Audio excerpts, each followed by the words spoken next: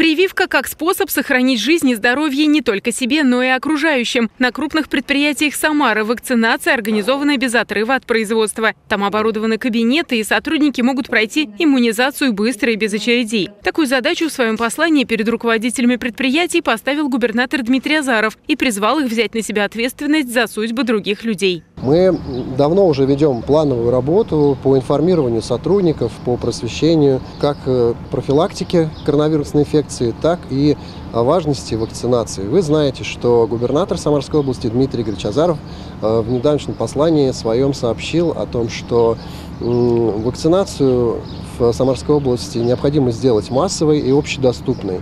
Собственно, мы э, организовали все необходимое на своем предприятии для того, чтобы сделать эту процедуру для сотрудников доступной и комфортной. Татьяна Садчикова работает на заводе электрощит инженером. Говорит, в разгар пандемии боялась лишний раз выходить из дома. Все ее близкие уже прошли вакцинацию, а сегодня такая возможность появилась и у Татьяны. Она получила первый компонент вакцины. Мы с нестерпением ждали, когда появится спасение, когда мы сможем вернуться к своей настоящей, нормальной, человеческой, привычной для нас, для всех жизни.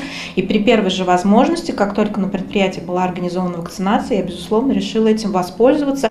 Вакцинация проводится бесплатно и добровольно. В области созданы все условия для того, чтобы жители могли сделать прививку быстро и в удобное для себя время. Возле крупных торговых центров и в местах проведения праздников и фестивалей работают передвижные пункты вакцинации. В круглосуточном режиме пациентов ждут по адресу Мичурина, 125. Чтобы к осени сформировался коллективный иммунитет и распространение коронавируса остановилось, нужно, чтобы 60% населения прошло иммунизацию. Виктория Шарая. События.